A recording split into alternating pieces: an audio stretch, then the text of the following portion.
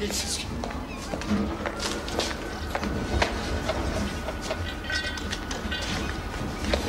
Överste Josef Burak. Vad är det här för dumheter? Ja, min assistent är, talar ni svenska?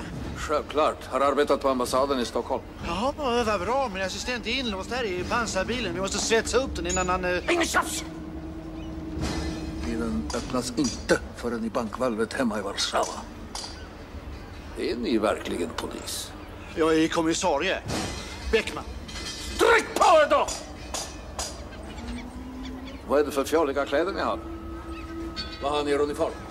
Jag är civilklädd. Fan.